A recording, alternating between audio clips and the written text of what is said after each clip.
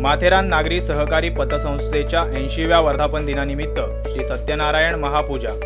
रविवार दिनांक तेवीस जून दोन हजार एकोणीस रोजी सायंकाळी चार वाजता ठिकाण संस्थेचे कार्यालय कपाडिया मार्केट माथेरान. निमंत्रक सभापती उपसभापती सर्व सदस्य तसेच कर्मचारी वृंद माथेरान नागरी सहकारी पतसंस्था.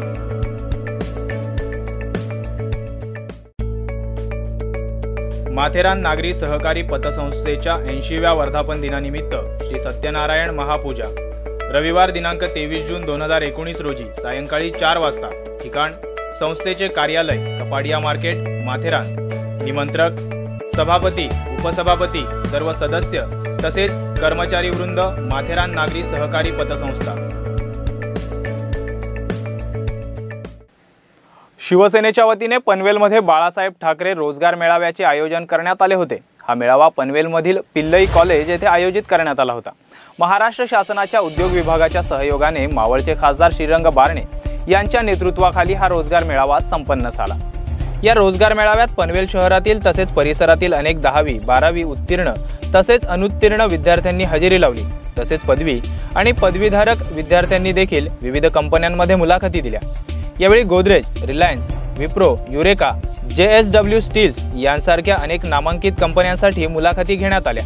या प्रसंगी शिवसेना उरण मतदारसंघाचे आमदार मनोहर भोईर जिल्हा प्रमुख शिरीष घरत पनवेल महापालिकेच्या महापौर कविता चौतमल शिवसेना महानगर प्रमुख रामदास शेवाळे उपजिल्हा प्रमुख रामदास पाटील महानगर संघटक प्रथमेश सोमन यांच्यासह अनेक पदाधिकारी आणि कार्यकर्ते यावेळी उपस्थित होते. राज्य सरकारच्या उद्योग विभागाच्या वतीनं बाळासाहेब ठाकरे रोजगार मेळाव्याचं आयोजन के करण्यात आलेलं. आहे खरं तर हे आयोजन उद्योगमंत्री सुभाष देसाई यांच्या पुढाकारानं संपूर्ण राज्यभर राज्यातल्या प्रत्येक जिल्ह्यामध्ये आयोजित केलेलं आहे.